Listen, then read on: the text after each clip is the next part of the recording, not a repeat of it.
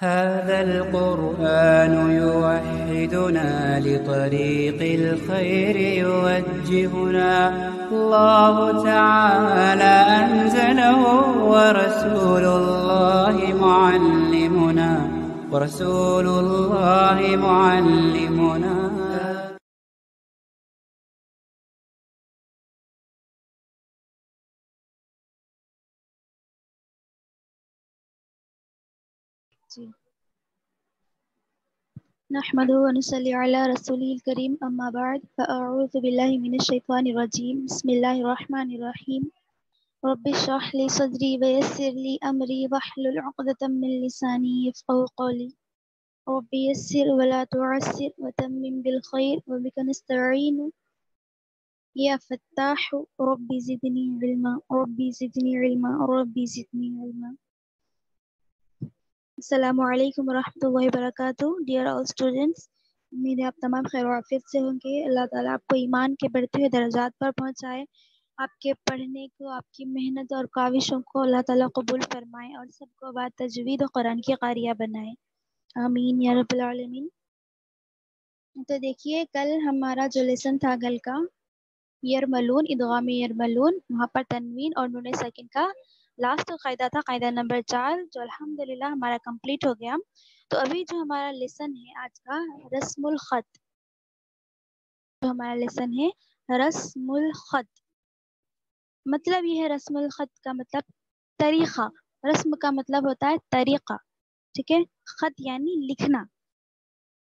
लिखने का तरीका रस्मुल खत का मतलब होता है लिखने का तरीका यानी कुरान पाक में किस तरीके से लिखा गया है और किस तरीके से हमें पढ़ना है। ठीक है? तो यहाँ पर बता रहे हैं कि कुरान पाक में कौन से हरूफ जुमले आयात किस अंदाज में लिखे गए हैं और हमें पढ़ना कैसे है। ठीक है?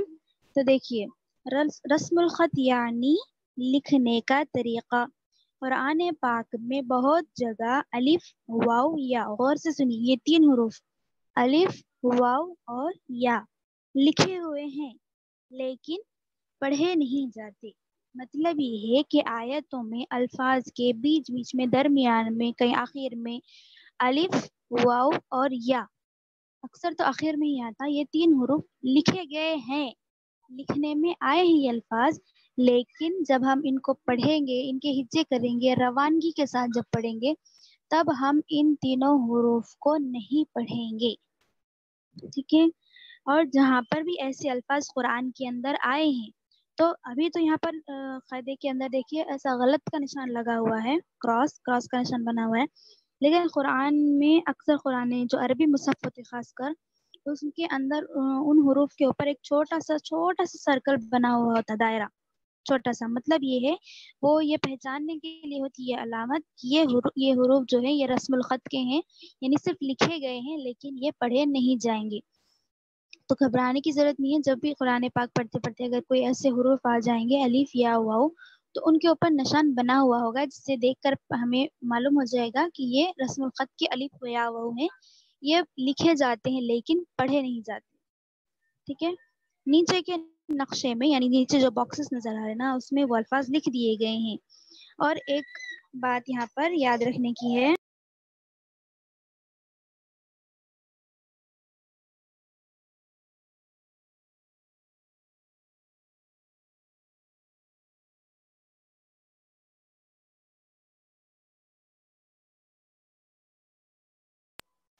तो देखिए, और एक बात यहाँ पर याद रखने की खास तौर से, लफ्ज अना, हमजा जबर, आ नून, अलिफ जबर, ना, अना। अना में देखिए, हमजा जबर, आ नून, अलिफ जबर, ना। यहाँ तो अलिफ मद का कायदा है, लेकिन यहाँ पर ना के अंदर ना नून, अलिफ जबर, ना में जो अलिफ है, वो अलिफ मद का अलिफ नहीं है, ठीक है? मद का अलिफ नहीं बल्कि वो जायद अलिफ है कहीं नहीं पढ़ा, लफ्ज अना में। जहाँ पर अना लिखा हुआ आएगा कुरान में आ, तो वहाँ पर अना नहीं पढ़ेंगे नून अलिफ जबर ना करके नहीं खींचना वहाँ पर।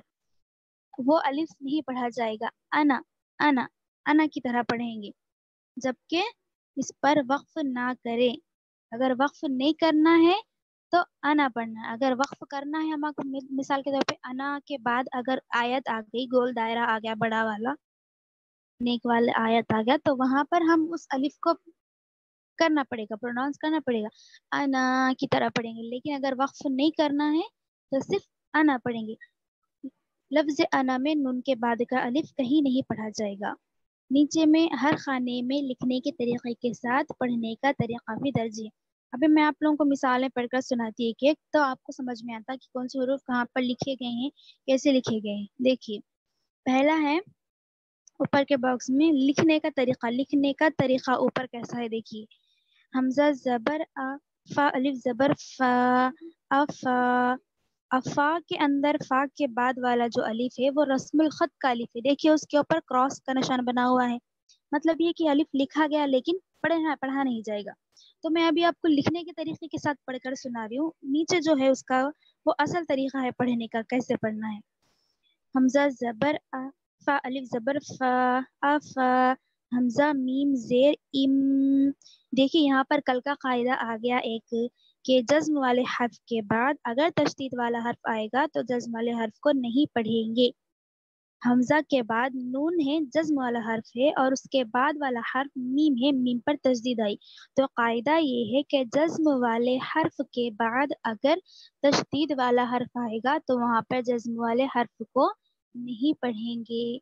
तो मैं यहाँ पर डायरेक्ट हमजा से मीम को मिला रही बीच का नून हम नहीं पढ़ रहे।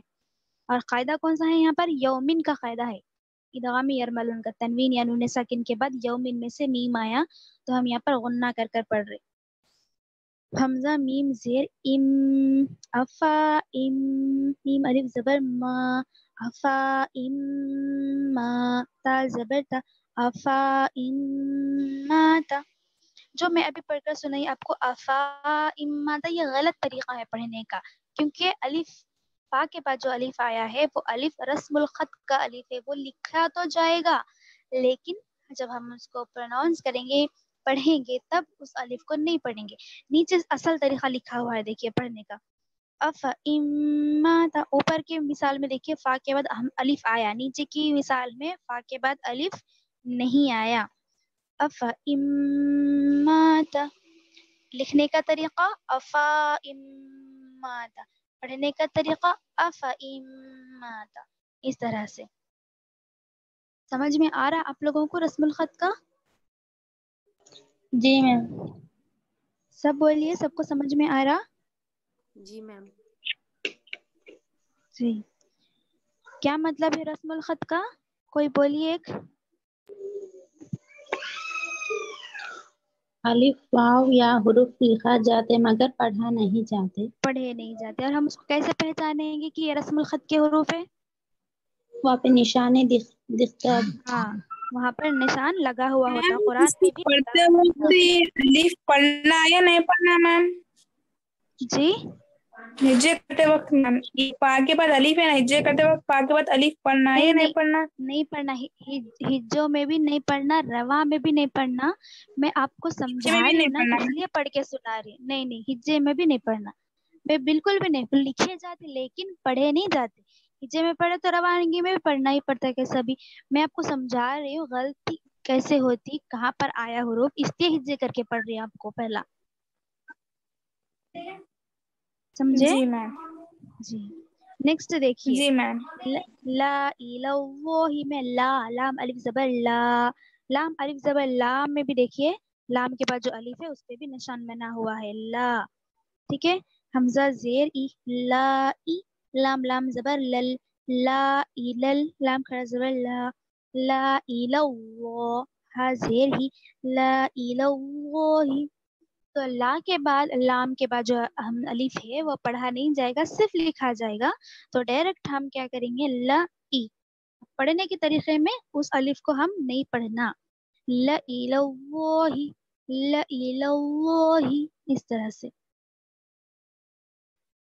नेक्स्ट तबू आ आ।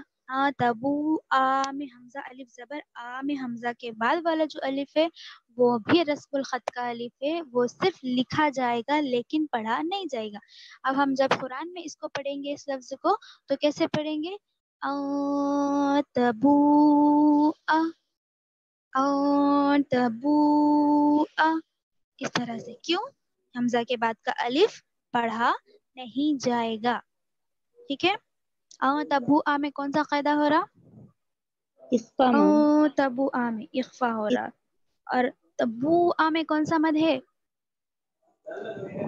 मद्दे मुफस्सिल मद्दे मुत्तसिल सिर्फ़ एक ही। बोलते नीलोफर में कोई भी क्वेश्चन करूँ ये अकेले ही जवाब देते आप सब भी सुन रहे ना गलत गलत गया तो गया जवाब कोई बात नहीं सही बात मालूम होती लेकिन बोलना सब मद्दे मुत्तसिल है माशाल्लाह। देखिए नेक्स्ट मिसाल। मीम नून जेर मीन नून जबर न मिन्ना बा अलिफ जबर बा मिन्ना बा हमजा जेर ई मेरे को तो क्या दिखता मालूम है? सना मैम?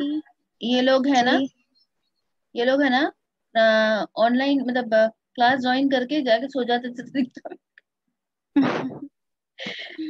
देखिए नीलोफर की है ना इतनी तबीयत खराब है दो दिन से उनकी तबीयत खराब है फिर भी उन्होंने है ना? जी। लोग तो कल सबमिट करके आप जो है सो क्लास अटेंड करती हूँ बोल के अटेंड कर रहे हाँ। माशाल्लाह। जागते रहो बच्चियों। रहे तो हम लोगों को भी है समझ में आता ना? सुन रहे हैं सामने वाले बोल हम्म, रेस्पॉन्ड करिए जल्दी से मैम बोल रहे तो। चलिए देखिए नेक्स्ट मिन नबाई में नबा बा अलिफ जबर बा बा के बाद जो अलिफ है, वो भी रस्मुल खत का है, वो सिर्फ़ लिखा गया है, लेकिन पढ़ा नहीं जाएगा। मिन नबई मिन नबई कुरान में भी मिन नबई लिखा जाएगा मिन नबाई कुरान में आपको मिन नबाई ही दिखेगा, अलिफ के साथ ही आएगा। हम वहाँ पर पहचान के उस पर निशान लगा हुआ होगा तो उस निशान को देखकर हमें पहचान के उस अलिफ को नहीं पढ़ना है। मिन इस तरह से पढ़ना है। ठीक है? यहाँ पर देखिए, हर लफ्ज के नीचे पारा नंबर दो, रुकू नंबर एक, पारा नंबर सत्रह, रुकू नंबर तीन, ये ये अल्फाज कुरान पाक में कहाँ कहाँ आए हैं? उन सब का हवाला दिया गया है नीचे। मिन नबाई, पारा नंबर सात, रुकू नंबर तीन। इसमें आपको ये लफ्ज मिल जाएगा कि कुरान में कैसे लिखा हुआ है। नेक्स्ट देखिए मलाइही, लिखने का तरीका, मलाइही, लाम ला। पढ़ने का तरीका, मलाइही, लाम के बाद का अलिफ लिखा गया, लेकिन पढ़ा नहीं जाएगा। मलाइही, लिखने का तरीका, मलाइही, पढ़ने का तरीका। लिखने का तरीका, वला वला वला खींचना पड़ेगा अगर हम, अगर अलिफ के साथ पढ़ेंगे तो। लेकिन ये अलिफ रस्मुल खत का है, लिखा जाएगा, लेकिन पढ़ा नहीं जाएगा। तो लाम के बाद का अलिफ नहीं पढ़ेंगे। वला वला इस तरह से पढ़ेंगे। ठीक है? समूदा, लिखने का तरीका, समूदा, लेकिन दाल के बाद का अलिफ पढ़ा नहीं जाएगा। पढ़ने का तरीका, समूदा, लिखने का तरीका, लितत, लुआ, लितत लितत अक्सर क्या करते हैं? ता सुकून वाले त पर कलकला कर देते यहाँ पर ध्यान रखिए कि कलकला ना हो। लितत, लुआ लितत, लुआ, ये लिखने का तरीका। पढ़ने के तरीके में वाव के बाद का अलिफ नहीं पढ़ेंगे। क्यों? इसके ऊपर निशान लगा हुआ है। मतलब ये है कि रस्मुल खत का अलिफ लिखा जाएगा लेकिन पढ़ा नहीं जाएगा। लितत, लिखने का तरीका, लन लन वाव के बाद का अलिफ भी यहाँ पर पढ़ा नहीं जाएगा। लन ठीक है, लन इस तरह से। मैम, थोड़ा स्क्रीन ऊपर कीजिए।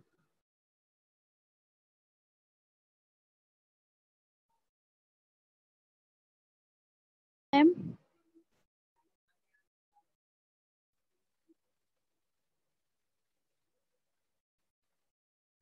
जी। देखिए लास्ट जो लाइन है, लिशाई इन लिशाई इन ली शीन अलिफ या जबर शाई। शाई अक्सर लोग क्या करते हैं, लिशाई पढ़ने में हमजा की आवाज़ आती है, या की आवाज़ में, लिशाई, ई, लिशाई लिशाई।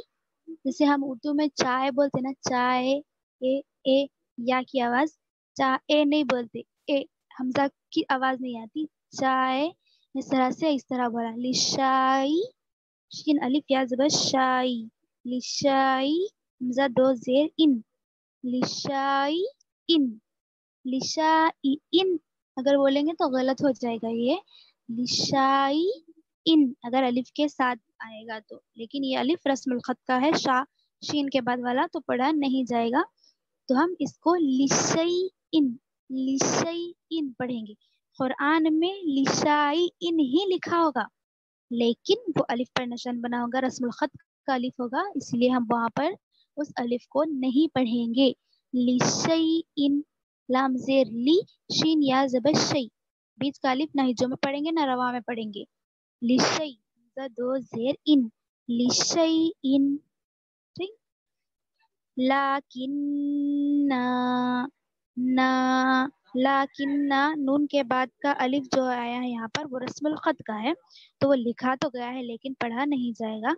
लाकिन्ना लाकिन्ना इस तरह से कर कर पढ़ेंगे इसे, ठीक है? इसके बाद वाला लफ्ज है, ला अज़बहन्नहु ला अज़बहन्नहु, लाम अलिफ जबर ला। ये लिखना, लिखने का तरीका है ये। लिखा तो गया लाम अलिफ जबर ला, लेकिन जब हम पढ़ेंगे तो लाम के बाद का अलिफ नहीं पढ़ेंगे। लअज़ लअज़बहन्नहु लअज़बहन्नहु इस तरह से कर कर पढ़ेंगे। ठीक है? तो मैं आपको ये पूरा पेज, इसके बाद नेक्स्ट पेज भी है सेम इसके बारे में वहाँ पर या और वाव की मिसालें हैं एग्जाम्पल्स हैं। तो मैं आपको ये पूरा पेज पढ़कर सुनाती हूँ। हम लोग कैसे पढ़ते थे? हमारे उस्ताद जब हमें पढ़ाते थे तो जो दो बॉक्सेस में लिखे हुए हैं ना, ऊपर का और नीचे का, लिखने का तरीका भी बोल कर पढ़ते और पढ़ने का तरीका कैसा है, वो भी बोल कर पढ़ते। तो मैं आपको उस अंदाज में पढ़ के सुनाती हूँ, पूरा पेज गौर से सुनिए। लिखने का तरीका, अफा पढ़ने का तरीका, अफा इम्माता लिखने का तरीका, ला पढ़ने का तरीका। ला इलल्लाहि लिखने का तरीका आतबूआ पढ़ने का तरीका आतबूआ लिखने का तरीका नबाई पढ़ने का तरीका नबाई लिखने का तरीका मलाइही पढ़ने का तरीका मलाइही लिखने का तरीका वला औदउ पढ़ने का तरीका वला औदउ लिखने का तरीका समूदा पढ़ने का तरीका समूदा लिखने का तरीका लिततलुआ पढ़ने का तरीका लिततलुआ लिखने का तरीका लन नदउआ पढ़ने का तरीका लन नदउआ लिखने का तरीका लिशाइन पढ़ने का तरीका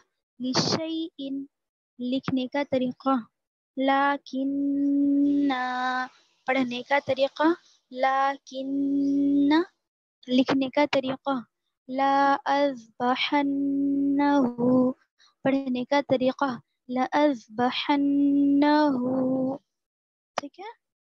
आया सबको समझ में? ये पूरा पेज कैसे पढ़ना है?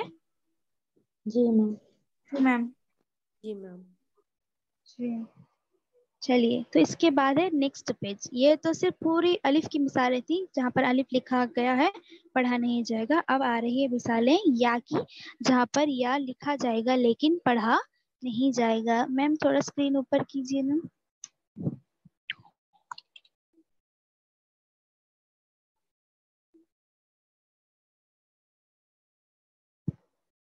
मैम।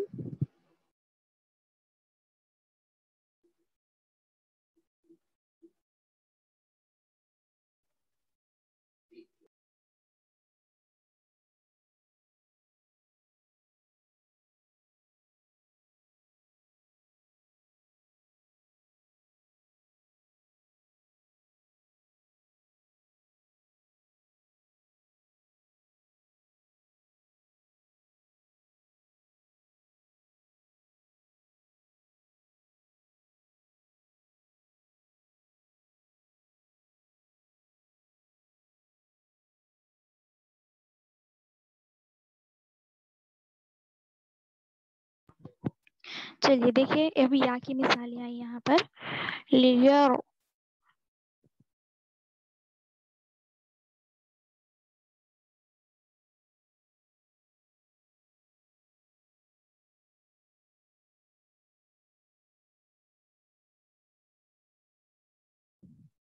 लियर बुआ फ़ी देखिए यहाँ पर फ़ी बुआ के बाद वाव के बाद अलिफ है। वो अलिफ लिखा गया है, लेकिन पढ़ा नहीं जाएगा। कैसे पढ़ेंगे? के तरीके अलिफ आएगा, लेकिन पढ़ने के तरीके में अलिफ नहीं आएगा। लिखने का तरीका, लियर बुआ फ़ी। पढ़ने का तरीका, लियर बुआ फ़ी। लिखने का तरीका, ला जहीमी। लेकिन लाम के बाद का अलिफ पर निशान लगा हुआ है तो हम उसको नहीं पढ़ेंगे।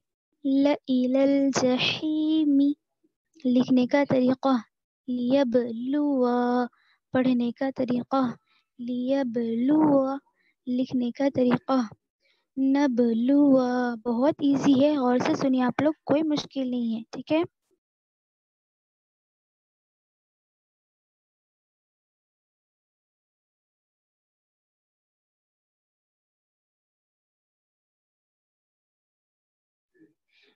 लिखने का तरीका नबलुआ, पढ़ने का तरीका नबलुआ, लिखने का तरीका बिस। यहाँ पर गौर कीजिए, ये थोड़ा सा समझने का है, मुश्किल कोई नहीं है। मैं इसकी हिज्जे करके पढ़ती हूँ कि लिखा कैसा गया है और पढ़ना कैसे है, ठीक है? पा हमजा जेर बी, सीन लाम जबर सल, बी सल, हमजा सीन जेर इस, बी सल इस मीम पेश मु, बी सल इस्म ऐसा लिखा गया है। लेकिन हम इसको पढ़ेंगे कैसा? बी स लिस्म जेर बी सीन जबर स बी स लाम सीन जेर लिस। ऊपर लिखा हुआ है, हमजा सीन जेर इस, लेकिन पढ़ना है उसको, लाम सीन जेर लिस। ऊपर इस लिखा हुआ है और हमें पढ़ना है लिस, लाम सीन जेर लिस, क्योंकि लाम और सीन के बीच में जो अलिफ है, वो लिखा गया है, लेकिन पढ़ा नहीं जाएगा।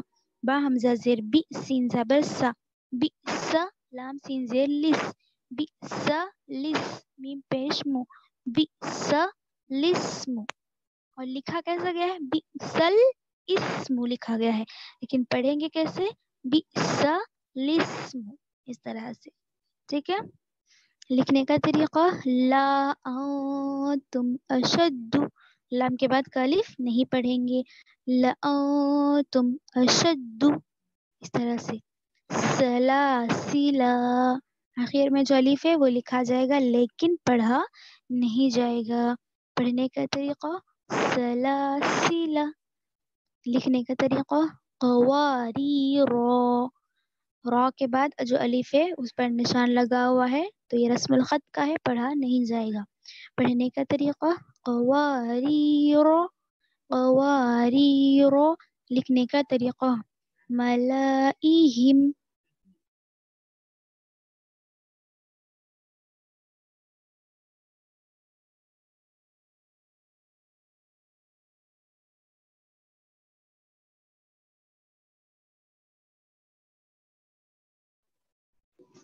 पढ़ने का तरीका मलाइहिम लिखने का तरीका अब देखिए यहाँ पर वो कायदा आ गया। ऊपर जहाँ पर लिखी हुई थी तख्ती तो मैं वहाँ पे बताई थी कि लफ्ज़ अना में उनके बाद का अलिफ कहीं पढ़ा नहीं जाएगा। तो यहाँ पर देखिए, वला अना आबिदुम मा अबदतुम अबदतुम में देखिए, जो कल का कायदा मैं बताई थी, जज्म वाले हर्फ के बाद अगर तजदीद वाला हर्फ आएगा तो जज्म वाले हर्फ को ना पढ़ेंगे। हालाँकि लिखा क्या है यहाँ पर? अबद तुम अबद तुम लेकिन दाल पर जज्म है और उसके बाद वाला हर्फ ता पर तजदीद है। तो जज्म वाले हर्फ को नहीं पढ़ेंगे, तजदीद वाले हर्फ से मिलाकर पढ़ेंगे। अबद तुम ता की आवाज़ ही आनी है, पर दाल को बिल्कुल नहीं पढ़ेंगे। लेकिन अना में नून के बाद कालिफ नहीं पढ़ा जाएगा। तो कैसे पढ़ेंगे हम इसको?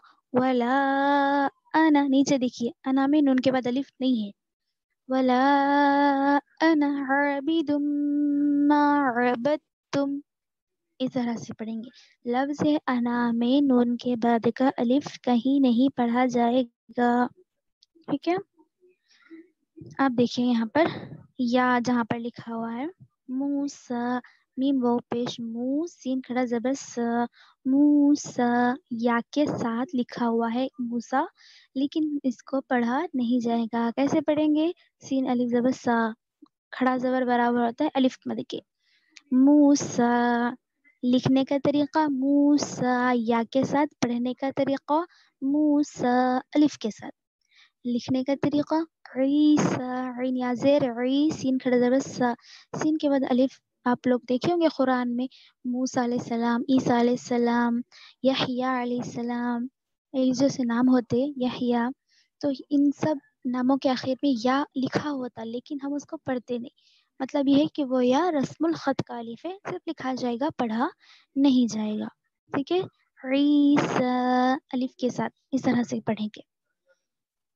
ठीक है? और अब देखिए, जकाता, जक़ात अक्सर जगह देखेंगे कुरान में। जक़ात का जो लफ्ज़ लिखा होता है वाव के साथ ही आता हो हालाँकि जक़ात में जो वाव होता बीच का, वो पढ़ा नहीं जाता।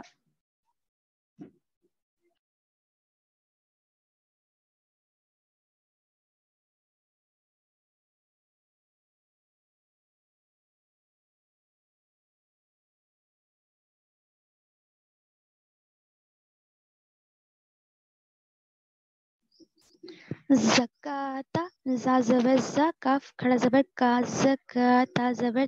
जकाता लिखने का तरीका वाव के साथ, पढ़ने का तरीका अलिफ के साथ। खड़ा जबर बराबर होता है अलिफ मद के।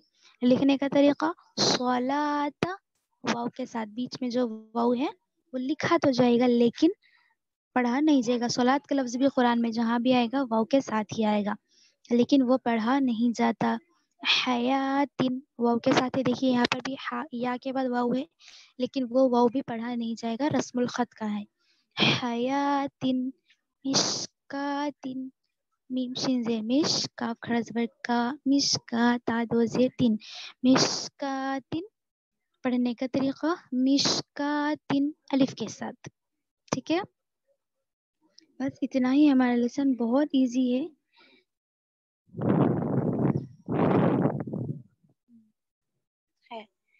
देखिए ये था हमारा आज का लेसन रस्मुल खत का अलिफ या वाव जो लिखे तो जाते लेकिन पढ़े नहीं जाते।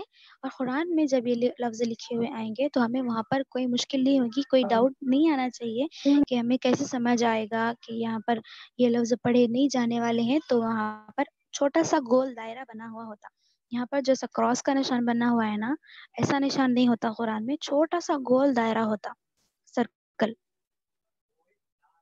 तो उसे देखकर हम पहचान सकते हैं कि ये हरूफ यहाँ पर लिखे गए हैं, लेकिन पढ़े जाने वाले हरूफ नहीं हैं।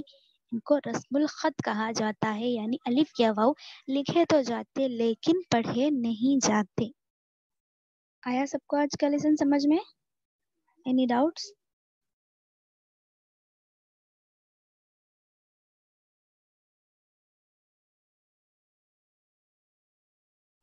जी मैम समझ में आया। पूछना है पूछना है किसी को कुछ?